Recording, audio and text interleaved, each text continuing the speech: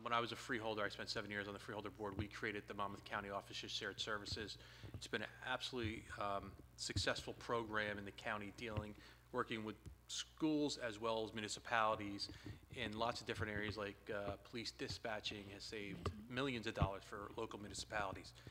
Um, I know that the, the czars are the vo- volunteers, but with the cut in funding from a million dollars to a thousand dollars, how do you see them being able to accomplish their positions as, uh, with creating more opportunities for shared services and, in some cases, consolidations?